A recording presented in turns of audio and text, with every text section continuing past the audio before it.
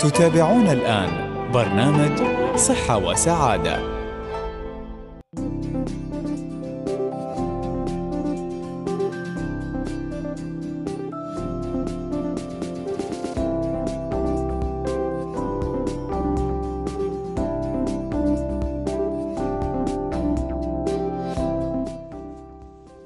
أسعد الله أوقاتكم مرة أخرى مستمعينا الكرام. حياكم الله معنا في برنامجكم صحة وسعادة. هذا البرنامج اللي تقدمه لكم هيئة الصحة بدبي بالتعاون مع مؤسسة دبي للإعلام عبر إذاعتكم المميزة دائما إذاعة نور دبي. في هذا البرنامج نفتح افاق التواصل معكم مستمعينا لاستقبال آرائكم ملاحظاتكم اقتراحاتكم كل ما من شأنه أن يساهم في تطوير القطاع الصحي في إمارة دبي بشكل خاص ودولة الإمارات العربية المتحدة بشكل عام. فأهلا ومرحبا بكم. نرحب بفريق العمل معنا في الإعداد آه، الأخ العزيز يوسف سعد. في التنسيق أحمد سلامة وفي الإخراج آه، أيمن سرحيل. هذه تحياتي محدثكم محمود يوسف العلي أرقام التواصل بتخبركم عنها. دكتورة ندى الملا المدير الكبير صبحت الله بالخير دكتورة. يا صباح الورد يا صباح الجمال يا صباح الاثنين اللي يحبك الاثنين يوم جميل وجو بديع برا ما شاء الله. درجة الحرارة بدأت في الانخفاض والجو ما شاء الله يعني يدعو إن الواحد يطلع في الخارج ويروح الحدائق ويروح البر ولكن بالسلامة يعني. تروحون أماكن خذوا احتياطات السلامة. فذكركم أول شيء بأرقام التواصل 600 مو واحد يطلع من الدوام بعد يسير مو واحد يشرد من الدوام يصير لا واحد بعد الدوام ابصموا خروج طال عمركم وروحوا. ما في شرده من الدوام من الجو بديع وال مدير كبير مدير كبير. إيه الجو بديع وقفل لي على كل المواضيع ما نبغى هذا خلال ساعة الدوام. بعد الدوام بارك الله فيكم عادي مرخوصين. المهم. ملاحظين اللهجة تغيرت أصلا حتى مو هي اللهجة الأولية قبل ما تستوي مديرة. ما له المهم أرقام التواصل عشان تتواصلون معنا نسمع صوتكم ناخذ من عندكم من علوم اقتراحات ملاحظات شكاوي شكر اللي أنتم تبونه على 600 خمسة خمسة واحد أربعة واحد أربعة والرسائل النصية على أربعة صفر صفر ستة وموجودين live على لا مو موجودين اليوم live بس على التليفون والمسجات. يا جماعة ليش بعد ما يخلص البرنامج ألاقي ناس تقول دكتورة والله كنا بنتداخل بس ما اتصلنا. أه كلمينا تحت الهواء. تكلمونا على الهواء عشان اللي تعم الفائدة. يوم تتصلون فينا على الهواء تطرحون سؤال طبي أو موضوع طبي ترى الكل يستفيد منه ويستوي في نقاش. بس بعد الهواء أحيانا يكون صعب نتواصل معكم. طيب. فأغنوا البرنامج أثروه. اليوم اتجهت انظار العالم إلى الحدث الرئيسي شوي بعيد عن الطب ولكن نحن يعني آه، نبغي نذكره في برنامجنا هو آه، خليفة سات. هذا القمر اللي يحلق بقدرات وطموح شباب دولة الإمارات العربية المتحدة. طبعا آه هذا الصاروخ اللي صنع بأيادي محلية نعم. وطنية مئة بالمئة. إنجاز كبير ليس فقط لدولة الإمارات العربية المتحدة وإنما إنجاز لكل العرب. اليوم تم الإعلان عن تحقيق حلم كان يراود المغفور له بإذن الله الشيخ زايد بن سلطان آل نهيان. طيب الله ثراه. لما التقى فريق من مهندسي وخبراء وكالة الفضاء الأمريكية ناسا. هذا الكلام تعرفين في سنة كم؟ 1967 يعني شوفي النظرة الثاقبة نحو المستقبل. كان يتمنى رحمة الله عليه صح. أن يتم إطلاق قمر صناعي بأيادي إماراتية. هذا القمر يحمل اسم فخم جدا على قلوبنا وقلوب العالم اسم خليفة. خير خلف لخير سلف. صحيح. خذ. الله يطول بعمره الشيخ خليفة على عاتقه أنه يحقق هذا الحلم. وبدينا عصر الصناعات الفضائية المتقدمة. اليوم هذه نقلة نوعية لدولة الإمارات العربية المتحدة تضعها في مصاف الدول المتقدمة. صح. فهذه الجهود يعني توجها مركز محمد بن راشد للفضاء في تأسيس البنية التحتية المتخصصة وتأهيل الكوادر البشرية القادرة على امتلاك زمام قيادة مشروع تقني عالي عالي المستوى في آه، في ظل يعني تدريب وتأهيل أكثر من 70 مهندس إماراتي بالعمل على هذا القمر الصناعي اللي منحهم خبرة عملية وإلمام معرفي كبير. آه، كنت آه، أتابع ال ال ال ال الإطلاق عيبني تعليق واحد من المهندسين دكتورة شو كان يقول؟ فقالوا له شو شو تبغي تقول بهذه المناسبة؟ قال آه ما أخفيكم يعني اليوم وأنا شاهد هذا الصاروخ يطير. أحس أني أنا ودعت يعني واحد من الأشخاص الغالين على قلبي. خمس سنوات نحن معاه. اشتغلنا على هذا الصاروخ خمس سنوات في البرمجة وغيره وصناعته. اليوم ودعناه. شوف التشبيه مجمله. صح.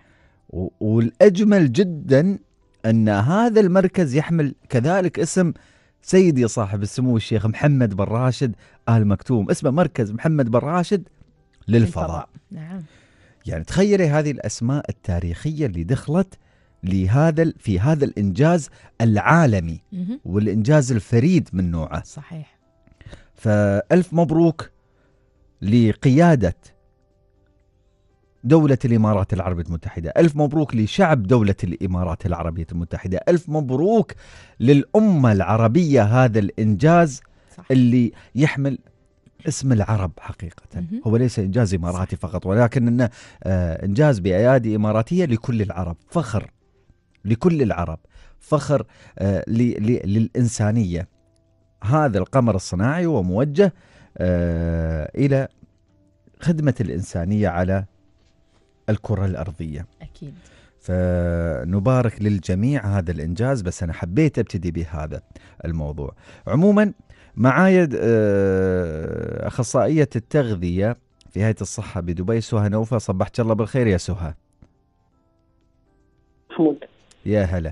سهى أنا سامحيني أنا اليوم آه، طولت في أنا أطلع معك مقدمة بصراحة جدا مشوقة وأنا بشاركك كمان في هذا الإنجاز البارك لدولة الإمارات هذا الإنجاز وإن شاء الله منها للأعلى والأعلى والتفوق والتميز دائما إن شاء إن الله شاء الله. تعالى. سهى سامحيني أنا خليني أطلع فاصل عشان لما نرجع من الفاصل صح. أعطيك فرصة أكبر في الحديث. إن شاء الله. آه، طيب. فاصل وراجعين مستمعينا. صحة وسعادة.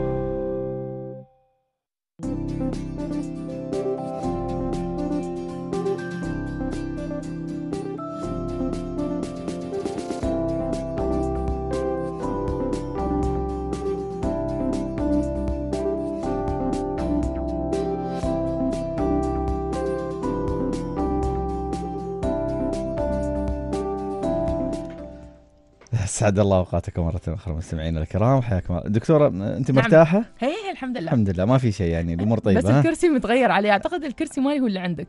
أوكي. تفضلي. لا شكرا. حاضرين. أستاذة سوى تريانا على الخط. ما علي بس نذكر بأرقام التواصل. ستة صفر صفر خمسة خمسة واحد أربعة واحد. أربعة ورسائل النصية على أربعة صفر صفر ستة.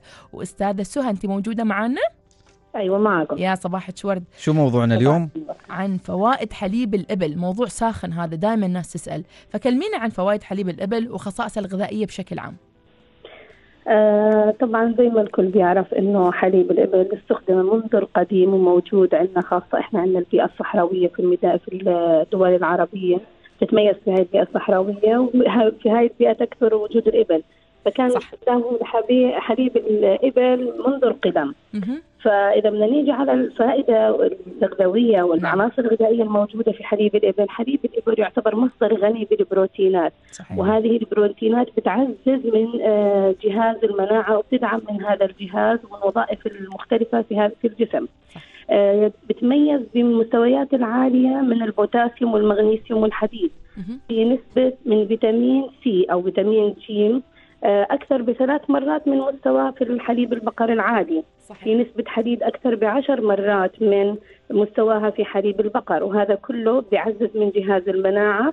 آه، بيعزز من آه، الوظائف الحيوية في الجسم. الشيء المهم جدا كمان في حليب البقر أنه تعتبر سعراته الحرارية قليلة لأنه الأحماض الدهنية غير المشبعة الموجودة فيه قليلة. مهم. وبالعكس الدهون الموجودة فيه هي الدهون المحبذة والمطلوبة للجسم زي حفظ اللينولي- اللينولينيك. نعم. اللينوليك عفوا. الدهني الضروري جدا ل آه، ال- القلب وتقوية الدورة الدموية. نعم. في دراسات عديدة على حليب الإبل آه، بتظهر لنا إنه يعتبر علاج أو يساعد في تقليل من انتشار السرطان خاصة آه، سرطان الأمعاء والمعدة. آه، في بعض الدراسات آه، تثبت إنه له آه، دور فعال في تقليل من انتشار فيروس الكبد الوبائي. نعم. آه، منذ القدم زي ما حكينا كانوا يستفيدوا منه العرب في علاج أمراض الجدري، الجروح، أمراض اللثة والأسنان، نعم آه، علاج للإسهال، مهم. آه، السبب إنه عنده نسبة السكر آه، اللاكتوز اللي فيه قليلة، نعم فحتى الناس اللي عندها تحسس من حليب الأبقار آه، ممكن يستخدموه كبديل عن. حليب البقر بسبب هاي الحساسية اللي عندهم. نعم أعتقد كثير من الناس ما تعرف يعني دائما لما تقول لهم عندهم عندك حساسية من حليب البقر يتجهون للمنتجات الأخرى النباتية حليب الصويا وحليب اللوز. بس حليب الإبل مثل ما تفضلتي هو عبارة عن بديل ممتاز لحليب هو البقر بديل ممتاز ومتوفر يعني إحنا هون. في الإمارات حليب النوز متوفر بشكل كبير حتى منها يعني آيس كريم الحين بعد يعني يعني صار في توسع وفي بالشوكولا نعم، ونكهات بيعملوا فيه نكهات مختلفة عشان الناس كلها تتقبله عشان الأطفال صح. حتى يصيروا يتقبلوه صحيح آه، بالإضافة إلى فوائده الكثير في آه، السيطرة على مرض السكري لأنه كمية الأنسولين السكري الموجودة فيه قليلة فبصير عندي آه، زي ما نحكي توازن ما بين الأنسولين وما بين السكري الموجود فهذا برضه بخفف عندي من ارتفاع نسبة السكر في الجسم. نعم. يعني حتى في بعض الدراسات في اللي, عملوها بعض ال- العلماء العلماء انه نعم. بيحكي لك يساعد بالعكس على النا- الناس بتتعاطى أحيانا الانسولين ممكن يستعيضوا بعدين عنه بالحبوب ال- الحبوب بدل الابر نعم. أه، وبالتالي طبعا لما يصير عندي سيطرة أنا على مرض السكري. بصير عندي بعدين الأشياء اللي بتتعلق في السكري زي نعم. أضرار الكبد. شبكية العين كلها صح. هاي الأشياء بتصير برضه لها control وبتخف عاد الإصابة فيها صحيح آه، أستاذة سهى دائما الأمهات يسألون آه، هل حليب آه، الإبل آمن للأطفال ومن أي عمر أقدر أعطيه وشو الفوائد اللي ممكن يحصلها غير عن حليب الأبقار للأطفال الصغار هو أهم فائدة زي ما حكينا إنه مهم آه، مناسب في حالات الحساسية من الحليب البقري. نعم. طبعا إحنا زي ما بتعرفي الدرجة الأولى بنحط دائما حليب الأم. لا نعم. يعني ما في أي شيء يغني عن حليب الأم. احسنتي إذا لما الأم بدها تفطم البيبي أو يبلش ياخذ الحليب غير الحليب يعني حليب البقر مثلا هو الطازج إحنا بعد السنة نعم. ممكن يبلش الطفل ياخذه في هذه المرحلة ممكن بدل حليب البقر يستعين عنه بحليب آه، الإبل. نعم. خاصة إذا إذا الأم خايفة حتى إنه يكون ابنها عنده حساسية ممكن تبلش في حليب ال- البقر ال- الإبل مهم. عفوا. حتى برضه الطفل يتعود على طعمه نعم صحيح. نسبة البروتين فيه أعلى زي ما حكينا. مهم. نسبة الحديد فيه أفضل نسبة الفيتامين سي فيه أفضل. فهي كلها بالعكس بتعزز من المناعة عند الطفل. جميل. آه، بالنسبة للنساء الحوامل كثير من النساء تخاف تشرب آه، حليب الإبل. تقول لك يمكن تعوشر يعني تطول في حملها. فشو رأيك في الكلام أستاذة سهاف هل تنصحينها تاخذ تشرب الحليب؟ ما لها أي قاعدة بصراحة يعني علمية. ما لها قاعدة علمية. لا لا. إنه ياثر على الحامل وهاي لا. ما لها أي قاعدة علمية صراحة. يعني ممكن زي ما بيحكوا الإشاعات أو الأشياء اللي بتكون دارجة لكن كحقيقة علمية لا مش مش موجودة. ممتاز. آه، أستاذة سهيل لو تكلم بشكل عام عن فوائد أصلا وجود منتجات الألبان بشكل عام في حياتنا اليومية خصوصا ممكن إن في حياتنا أتوقع إن في وجباتنا آه، منتجات الألبان ما لها دور كبير للأسف. يعني الناس دائما مستعجلة خلال الأسبوع تبى تروح الدوام فيأكلون أي شيء على السريع والوجبة مهم. الغداء ما في مكان بالعادة لمنتجات الألبان والعشاء بعد صح. بالعادة يكون من برا. فأهمية وجود منتجات الألبان والحليب ومشتقاتها بأنواعها للكبار أو للصغار شو أهمية وجودها كل يوم وشو الحصة الموصى فيها؟ هلا أنت إذا بتنتبهي دكتورة ندى حاليا في الطبق الغذائي الجديد صار عندك أنت الطبق مقسوم لاربع أقسام نعم. اللي هي الخضار والفواكه والحبوب نعم. والبروتين. في نفس الطبق في عندك الفرع اللي هو الألبان هذا دليل على أهميتها القصوى زي ما حكيت الناس كثير بتتغاضى عنها وبتنساها. آه الألبان صارت أساسية على الثلاث وجبات بغض النظر سواء كان حليب سواء كان روب سواء كانت اجبان لازم تتض- تتضمنها. صح. ولازم نشجع الأطفال على تناولها. أنت عارفة هي الأساس في إعطاء فيتا- آه الكالسيوم اللي هو مهم لبناء العظام صحيح. مهم للعضلات مهم للدورة الدموية. كلها هاي كلها بتتأثر في وجود الكالسيوم والسيطرة عليه مصدر لفيتامين د. صحيح. إحنا عارفين حاجتنا لفيتامين د. فهلا إحنا لازم نشجع الأطفال نشجعهم خاصة يعني حتى لما الأم بتحاول إحنا بنحاول في المدارس نعطي الإرشادات للأمهات إنه حتى لما بتجهزي أنت ال- ال lunch box للطفل حاولي دائما يكون لو علبة روب صغيرة لو أي مصدر ألبان إذا ما تناول كاسة الحليب قبل ما يطلع من البيت. نعم. وهي كلها بتيجي على التعويد أنت نعم. عوديه عودي هي كاسة الحليب مش هتاخذ من وقته دقيقتين أو ثلاث دقائق لما بيشربها. صح. بس بالمقابل أنت كل كاسة حليب مثلا 200 مل عم بياخذ 200 وحدة من الكالسيوم اللي ضرورية لجسمه. فلازم إحنا نشجع قدر المستطاع على هذا الشيء. يعني ما تحكي ما في وقت. ما هو زي ما في وقت إنه يأكل الرز حيكون في وقت إنه يأكل الروب زي ما صحيح. ممكن نعطيه للأطفال حتى ما بين الغداء والعشاء كوجبة خفيفة. أعطيه حل... آه، أعطيه روب أعطيه روب مع زبادي. آه، الأم ممكن إذا ابنها بتقول لك ما بتقبل طعم الحليب اعملي له إياه مع الكوكتيل مع الفواكه. صح. صحيح صحيح. يعني زي ما بياكل الايس كريم حيشرب الكوكتيل. وحطي له فيه حليب. هذه الام مسكينة الحين بتجابل الريال بتجابل عياله بتجابل. أول مرة الرجال تواجد مع علاج. اليوم. تعمل للرجال وتعمل للأطفال. كلهم. مرة واحدة بيشرب غوري واحد تفور فيه الحليب وتصب حق كل حد حق الأبو حقها حق العيال وما رايح. يعني تحاول تتضمن الحليب في أغلب حتى لما بتحضر كيك في البيت لازم تحط حاول تحط الحليب موجود يكون موجود. يعني. تدخل المنتجات الألبان في. أغلب الأشياء لأنه عم بنلاحظ والله أحيانا اطفال بيكونوا لساتهم في المرحلة المتوسطة نعم. فبصير عندهم كسور بشكل سريع. ليه؟ لأنه ما في عندهم صح. رصيد من الكالسيوم يحمي جسمهم بشكل مضبوط. صحيح. الكالسيوم عندك بالمراحل الأولى هاي بهاي فترات البناء العمر من 14 ل 20 سنة هي أكثر فترة عمرية بخزن الجسم فيها كالسيوم. صحيح صحيح صحيح. نحن شاكرين لك آه، أختي آه، الله. نوفل أخصائية التغذية في هيئة الصحة بدبي على هذه المعلومات القيمة آه، كنت تتكلمين عن فوائد حليب الإبل شكرا جزيلا لك شكرا نهارك سعيد الله يسلمك أهلا. أهلا فيكم مع السلامة الحين أنا اللي اعرفه اللي يعني ما أدري هذا الكلام من ناحية دينية هل هو 100% صح ولا لا. ولكن. إذا حد منكم عنده معلومة بعد يفيدنا. يقول لك اللي ياكل لحم الإبل يعني لازم يتوضأ. تعرفين هذا الشيء ولا؟ يعني يعيد وضوءه؟ لا انه إنه يتوضأ. ما أدري شو الحكمة من من هذا الشيء ولكن ورد عن النبي صلى الله عليه. وسلم أن آه، بعد أكل لحم الإبل انه آه، ما أدري هو فرض ولا يستحب إنك أنت تتوضأ آه، لأن أصلا مبطلات الوضوء معروفة عندنا. نعم. ولكن يقول لك يعني في في سبب يخلي.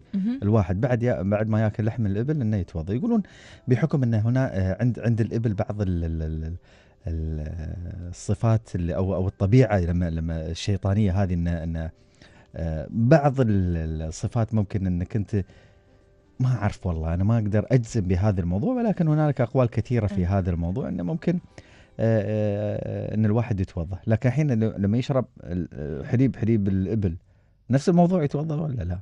شو رأيك أنت ايمن؟ بعد شرب حليب الابل يتوضا؟ هو الوضوء زين يعني جي جي زين الواحد صح ولا؟ يعني وضوء دائما الوضوء زين في هي. النهاية الواحد يتوضأ دائما يكون على طهارة هي هي. أنت شو رأيك؟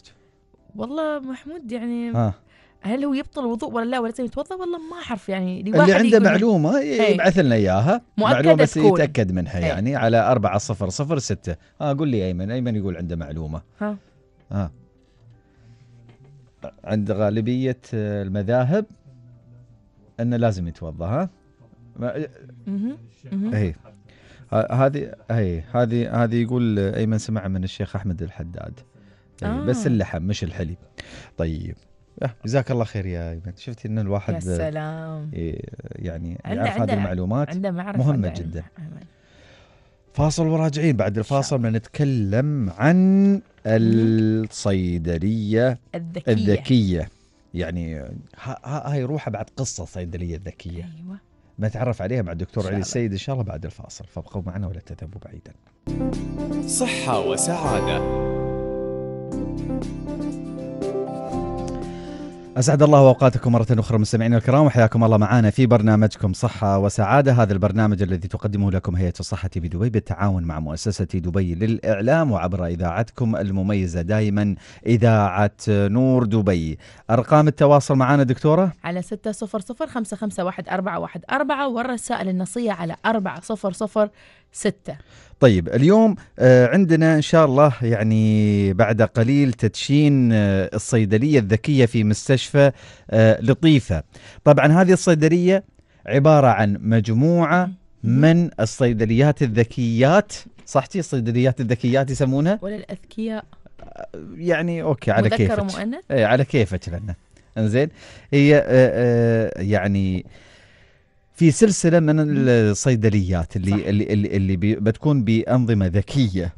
في آه، مراكز ومستشفيات الهيئة طفرة نوعية آه، تستهدف الهيئة من خلالها تحسين رحلة المتعاملين وراحة المرضى وصرف الدواء من دون انتظار وبأسرع الطرق والوسائل الذكية الآمنة والدقيقة صحيح طيب الهيئة دشنت مجموعة من الصيدليات في السابق والآن في خطتها المستقبلية. أيضا هنالك الكثير من الصيدليات. معانا عبر الهاتف دكتور علي السيد مدير إدارة الصيدلة والخدمات الدوائية. صبحك الله بالخير دكتور. صبحك الله بالخير أخوي محمود كيف الحال؟ الله صبحك الله بالخير دكتور. حياك الله. دكتور أول شيء آه، يعني نبارك لكم هذه الإنجازات اللي تحققت في مجال آه، يعني آه، الخدمات الصيدلانية في هيئة الصحة بدبي. ونبغي بس نعطي فكرة في البداية بشكل عام عن آلية عمل الصيدلية الذكية واحد من جهة اثنين فوائدها على المتعامل من جهة أخرى وأيضا الفائدة الكبيرة على الصيادلة اللي يعملون عندنا في الصيدليات. شكرا أخوي محمود على السؤال. ال- طبعا أول شيء لم يكن يتحقق هذا إلا بدعم من ال- القيادة طبعا من القيادة الرشيدة بال- بالإضافة إلى آه، دعم من آه، المدير العام آه، هيئة الصحة.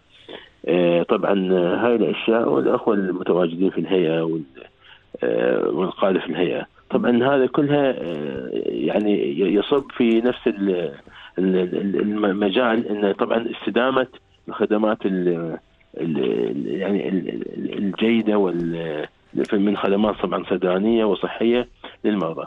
آه، الهدف من هذا أول شيء بعد ما بعد ما نجحت آه، يعني الفكرة في مستشفى راشد ومستشفى دبي وانطلقنا في حوالي مستشفى راشد طبعا شجعنا أن إحنا نتجه وننطلق إلى المستشفيات الأخرى وهي مستشفى. لطيفه وإن شاء الله مستقبلا في الرعايه الصحيه الامنيه في العيادات المراكز.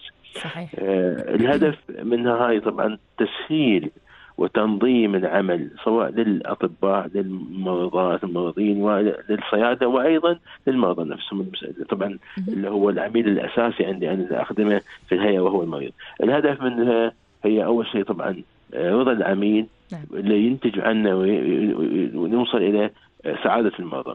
نعم. آه، الشيء هذا لما يكون في سعادة وفي رضا العملاء مش هدفه بس إنه يعني والله هو طلع راضي عني لا. لأن الصيدليه هي النقطة الأخيرة التي يعني ينطلق منها من- منها إلى المنزل إلى البيت أو إلى العمل. صح. إذا ما طلع راضي على الصيدلية أو على الهاي ما ما يرضى على كل الخدمات. هذا شيء واحد. صحيح. يطلع يعني. الشيء الثاني لما يكون راضي على ال- ال- ال- ال- الم- المريض ال- هذا على على الصيدليه أو على الخدمات الطبية أو الصحية المقدمة يلتزم بالعلاج. لما يلتزم بالعلاج طبعا غير إنه يكون طبعا سعيد يلتزم بالعلاج. لما يلتزم بالعلاج تكون المحصلة العلاجية أفضل. معناته إن عندي أنا نتائج أفضل في العلاج. الطبيب اختار الدواء صحيح شخص صحيح لكن المريض ما التزم بالعلاج ما حصل. لكن لما يكون هو راضي عن الخدمات يلتزم بالعلاج نحصل محصله علاجيه أفضل. معناته أنا عندي أقل مرضى في المجتمع ونجاح في العملية في المحصلات العلاجيه معناته زيارة المرضى للأطباء بتكون أقل للمستشفيات بتكون أقل. معناته أنا عندي مش بس آه، آه، رضا العميل مش سعادته بل أيضا هناك محصله علاجية أفضل علاج أفضل نتائج أفضل. صحيح آه هذا طبعا إجابة على السؤال إنه كيف يتم نتحرك؟ طبعا إحنا اليوم عندنا نظام سلامة وهو ال- اللي هو يعني طبعا الدكاتره يتعاملون فيه في كتابة الوصفات. ان النظام على طول الكترونيا بدون أي ورق بدون اي أي شيء يوصل توصل الوصفة الكترونيا إلى الصيدلية، من الصيدلية طبعا الصيدلي يراجعها ما فيها أخطاء طبية ما فيها أخطاء آه، تفاعلات أو شيء في في تجانس بين الأدوية على طول تنتجه يحولها إلى ال ال إلى ال الروبوت اللي هو الذكي الجهاز. على- يصرفها الجهاز ويسلمها للصيدلي. في هذا أثناء الصيدلي طبعا يأخذ الوصفه في المريض بعد ما وصل للصيدلية فيكون انتظار ما في لأن لما يوصل المريض لل- للصيدلية يكون الوصفه ماله جاهزة. الصيدلية يعني يقضي وقت أكثر لشرح الدواء لاستخدام استخدامات الدواء وتفاعلاته. للمريض. معناته معناته يطلع المريض مثقف فاهم كيف يستخدم أدويته، كيف يتعامل معاها، آه راضي على ال- ال- ال- ال- الخدمات، آه فاهم شو يسوي،. هني الحاله هني. طبعا أنا حولت الصيدلي من شيء اسمه ديستريبيوتيف تاسك اللي هي فقط إنه هو عبارة عن يعني يجمع أدوية إلى إنسان طبعا آه، يقدم خدمات له هو متعلم ودارس عليها وهي. تخصصه.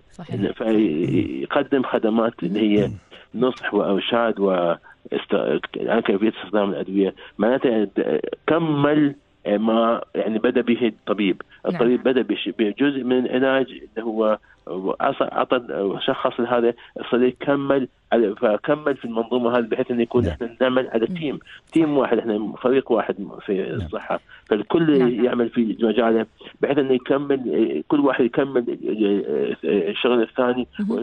للحصول على محصله، فبهذا الاسلوب اللي خروج خروج المريض يعني إن شاء الله بأفضل آه، سعادة وبأفضل آه، انطباع وأيضا بالوصفه الطبية الصحيحة. بالضبط. دكتور كم صيدلية حتى الآن عندكم وكم صيدلية في. خطتكم في المستقبل؟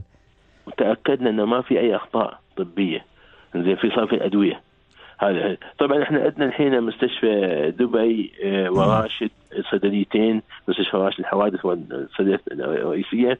ولطيفة إحنا نعم. أربع صيدليات مشينا فيهم الحمد لله بنجاح. وإن شاء الله آه، متجهين بعد إلى الرعايه الصحيه الأولية وإن شاء الله الخطة طبعا إن هي تحويل كل الصيدليات إلى إلى شنو طبعا هاي شيء جزء واحد مهم جدا جزء مهم العميل الداخلي الصيدلي.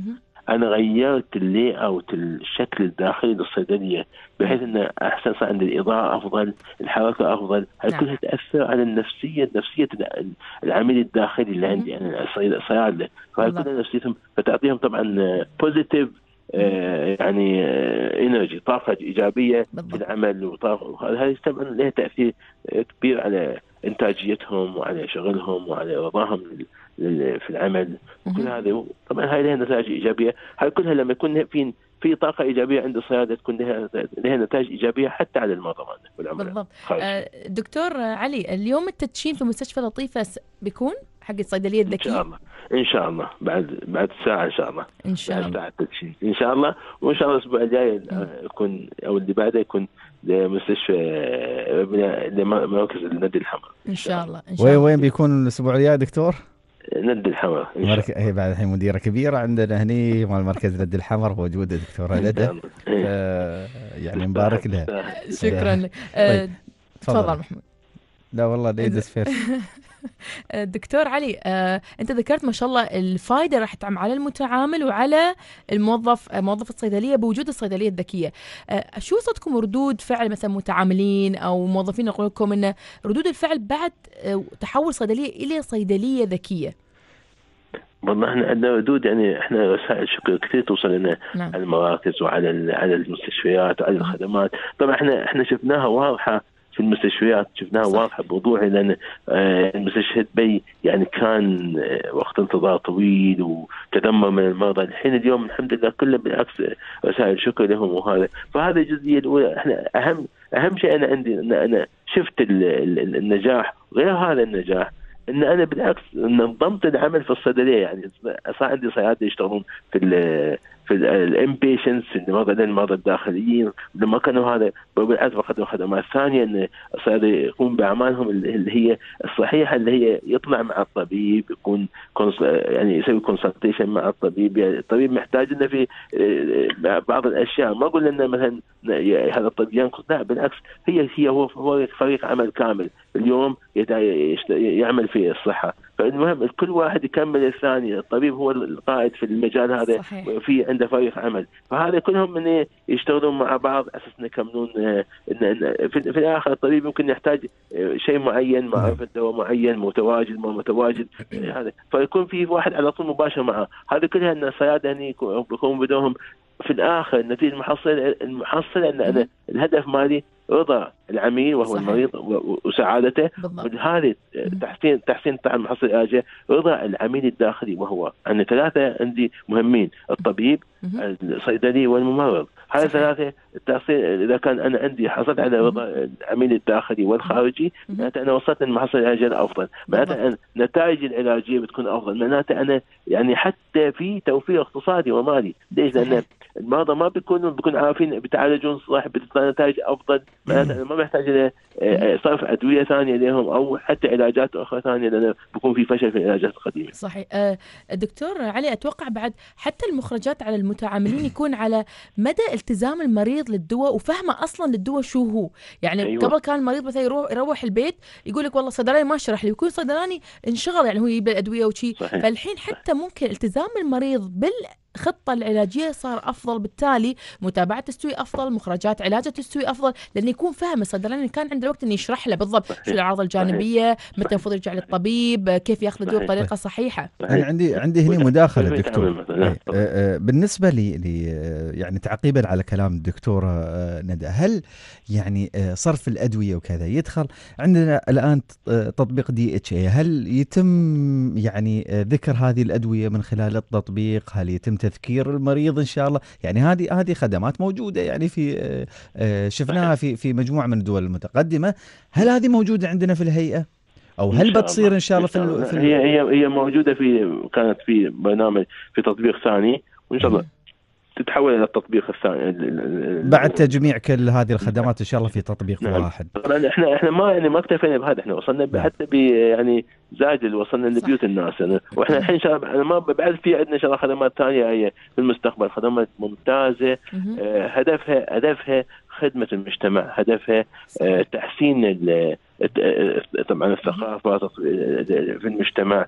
آه، مثل ما قال الدكتور طبعا أنت في الآخر عندك محصلة علاجية. إذا كان المريض عارف كيف يستخدم الدواء عارف كيف يتعامل مع آه، الدواء صح سواء في استخداماته أو في الآثار الجانبية أو في تفاعلاته مع هذا. وإلى آخره إذا المريض عارف- كيف كيف يسير حسب الخطه العلاجية طيب. الذي طبعا حطها لي الطبيب وصل لي شرحها له معناته في الآخر في النهاية محصله علاجيه نتيجة أفضل معناته أنت عندك توفير. صحيح طب دكتور صحيح. أنا أتذكر آه، يعني منذ سنوات قليلة كنا نحن عارضين أول نموذج للصيدلية الذكية في معرض جايتكس ما أتذكر أي صحيح. سنه بالضبط يمكن 2015 أو 16 ما مهم. أتذكر فترة قصيرة وتم تطبيق هذا آه، آه، هذا المشروع ونشوفه على أرض الواقع ومفعل وسوف يعمم على جميع صيدليات آه، هيئة الصحة بدبي أنا بس ذكرت هذه المعلومة فقط على أساس أني آه، ابرز للجمهور انه كل اللي تشوفونه حاليا نحن نعرضه يطبق آه، بشكل سريع جدا. قاعدين نشهد طفرة في آه، التكنولوجيا الصحية. آه، أيضا دكتور ما أدري آخر شغلة بس أبغى أسألك عن ال- الصيدلية الذكية أو شغلة تبغي تضيفها عن موضوع الصيدلية الذكية لأني بستغل وجودك لأن أبغى أطرح موضوع آخر بعد وايد مهم أنا عندي تعليق شيء مهم جدا نعم. هيئة الصحة لما طبقت الصيدليه الذكية طبقتها بنجاح تم اختيار سليم وكان طبعا مكثف اختيار ال- ال- الصيد- الروبوت الصحيح السليم. إحنا هيئة الصحة اليوم نمتلك وطبقنا أكبر روبوت في المنطقة وأفضل روبوت وأسرع روبوت وأذكى. زين. في غير نطبق بس لم ينجح. صح. زين. فهيئة الصحة الحمد لله بسبب هي تضافر عوامل. عدة يعني. أيوه من القياده العليا. صحيح. بسبب هذا الربط ال- ترابط آه، ال- ال- الإدارات مع بعضها. وبسبب التواصل بين كل الأطراف نجحت في تطبيق أفضل أفضل ممارسة.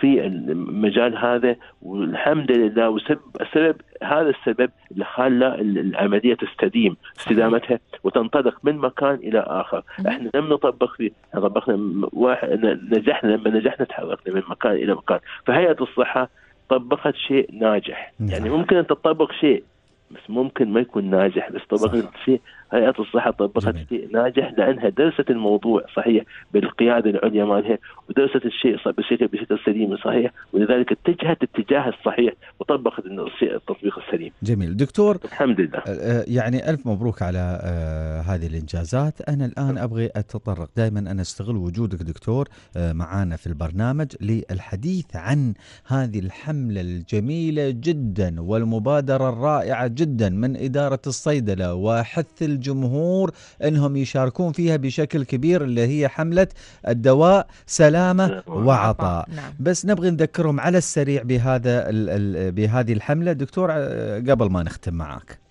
حملة جيدة جدا وممتازة وناجحة. الحمد لله اللي هي كذا سنة صارت الحين. الحملة هذه عبارة عن جمع الأدوية سواء كانت منتهية الصلاحية أو فاسدة أو سليمة صح. في أشخاص عندهم آه، طبعا عندهم أش... آه، آه، يعني فائضة عن الاستخدام زائدة في ناس محتاجينها. فتجمع الأدوية. إذا كانت سليمة الاستخدام صالحة صالحة للاستخدام سليمة تجمع وتعطى الجهات الخيرية لاستخدام الناس ال- مساعدة الناس المحتاجة. نعم. إذا كان أدوية منتهية الصلاحية تؤخذ من وت- ويتم إتلافها بشكل سليم عبر القنوات الصحيحة في هيئة الصحة لأن شيء واحد الهيئة هاي الحملة هاي سلامتها تحافظ على سلامة المجتمع وسلامة البيئة وسلامة الأسرة في المش... في البيت. يعني ما في أي تسمم في البيت ممكن يأخذ طفل يأخذ دواء معين يتسمم أو يتم إلقائه في حاويات خطأ تكون أو إلى آخره. لأنها مواد كيميائية. هذا تحافظ على سلامة المجتمع تحافظ على سلامة البيئة تحافظ على سلامة المنزل الأسرة. هذه السلامة.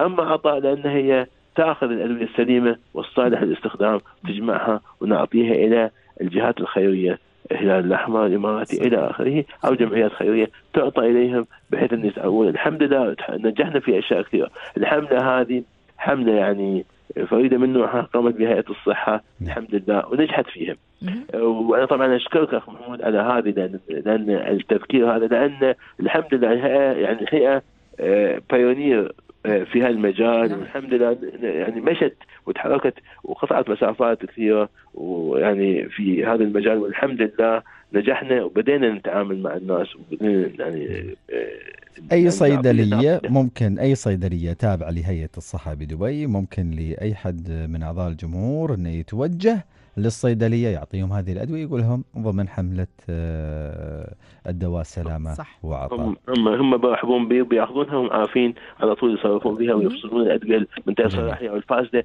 ويحطون الأدوية السليمة ونحطها في هذا طبعا نجمعها ونحطها في حاويات ونعطيها لل أو كراتين ونعطيها للجهات الخيرية والحمد لله بدت الناس تستفيد منها نعم. وفي ناس صح. كثيرة وجمعيات كثيرة يعني المرضى آه، استفادوا من هذه الأدوية السليمة اللي هي قابله للاستعمال. صح. شكرا لك آه، دكتور علي السيد مدير إدارة الصيدله والخدمات الدوائية ونتمنى لكم كل التوفيق في تدشين آه، شكراً الصيدليه لك. الذكية في مستشفى لطيفه اليوم شاكرين لك دكتور وكل التوفيق. شكرا لك نهارك سعيد قال الأسبوع الجاي وين؟ ند الحمار نعم يا مستانسه ما شاء إيه، الله بنحط شي زينة غير. كذي أقول لك ايمن بنصور اللهجة تغيرت. ما مصدقني أنت مو هي اللهجة الأولية. شوف بنزين. بنزين شي عشان الناس لما تدش تشوف صيدليتنا الذكية. الجميلة. أنا بس لنا تعقيبا على موضوع آه، أكل لحم الإبل. جتني مجموعة رسائل. بحاول أقرأ على السريع يعني منها. السبب في الوضوء بعد أكل لحم الإبل لأن لحمه يجعل الإنسان سريع الغضب ويثير حفيظته وما يتصف به الوضوء أنه يبرد الأعصاب ويعمل على تهدئتها. هذا أبو سامر. يقول بعد أكل آه، لحم الإبل آه، سبب في الوضوء لأن لحمه يجعل الإنسان بعد نفس الشيء سريع الغضب وهذا آه، هذا نفس الموضوع. قال إن هني قصة رويت إن الرسول صلى الله عليه وسلم طيب آه، ذاكر قصة طويلة. السلام عليكم ورحمة الله. أفلا ينظرون إلى الإبل كيف خلقت وما آتاكم الرسول فخذوه وما نهاكم عنه فانتبهوا عنه. قال الرسول صلى الله عليه وسلم من أكل الجزور يعني الإبل فليتوضأ والإبل الحيوان المخلوق من نار. هذا عاد المغرب يقول. طيب كل الأس... الرسائل في. نفس الموضوع تصب يعني ان إن الوضوء لأنه يبرد الأعصاب. وإن شاء الله إن شاء الله أعصابك عشان نخلي باردة. أعصاب المخرج إيه، باردة. أعصابك باردة دايما يعني لا تحاتم نختم إن شاء الله نحن شاكرين لك دكتورة تواجدت معنا شكرا لكم جميعاً. إن شاء الله بعد شهرين ولا متى ب- ما شاء الله لا بعد يومين إن شاء الله الحياة يعني إذا حصلتي بعد فرصة باكر بعد. حياك إن شاء الله مكان مكانك يعني ما تقصرون شكرا إن شاء الله. تونسينا دائما ما يعني تقصر. والله أنا استانس ببيتي آه، والله. تواضعي شوية يعني تعالي. سووا لي broadcast من العيادة. okay. أقدم. برنامج العيادة. ممكن والله فكرة. ليش لا؟ ممكن. اي ممكن. طيب شكرا لك أحمد سلامة كان معنا في التنسيق. كل الشكر ليوسف سعد كان معنا في إعداد هذه الحلقة. شكرا لك إيمن سرحيل مخرجنا بنوح. شكرا لك الدكتوره ندى الملا. هذه تحياتي محدثكم محمود يوسف العلي وحتى نلقاكم في الغد مع العديد من المواضيع. أيضا قبل أختم أبغى أقول ألف ألف ألف ألف مبروك على هذا الحدث التاريخي في إطلاق القمر الصناعي خليفة سات. وإن نعم. شاء الله حياتنا كلها أفراح والله الله. يحفظ الدولة ويحفظ قيادتنا ويحفظكم ويحفظ لكم عيالكم ويبعد عنكم الأمراض كلها ونقول لكم في الختام دمتم بصحة وسعادة.